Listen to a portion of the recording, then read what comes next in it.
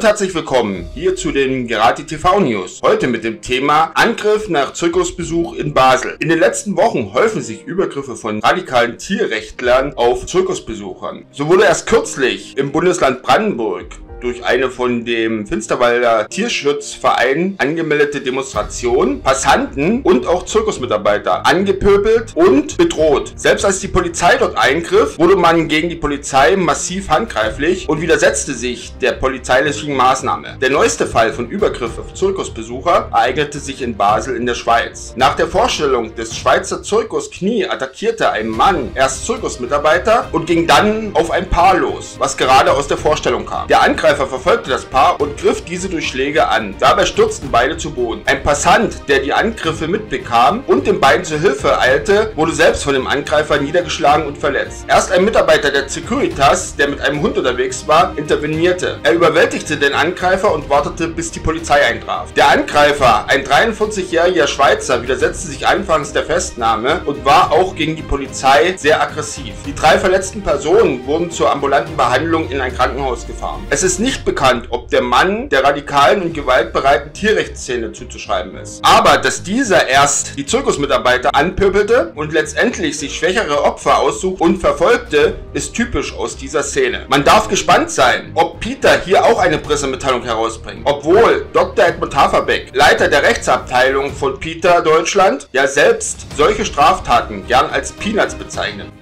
Haferbeck hat vor seiner Zeit bei Peter selbst schon mal einen Tierlaborchef bedrängt, mit anderen zusammen Parolen gerufen. Eine Fensterscheibe ging dabei zu Bruch. Das hatte Konsequenzen für ihn. Eine Bannmeile ums Haus. Er darf sich dem Laborchef nur auf 200 Meter nähern. Den muss man dann auch mal zeigen, ne, was Sache ist. Da muss man auch mal hingehen. Das ist überhaupt kein Problem. Und es waren keine Straftaten. Gut, Sie haben ein Zivilurteil, einen Beschluss gekriegt. Nicht jeder auf 200 Meter. Ja und? Das ist doch Peanuts.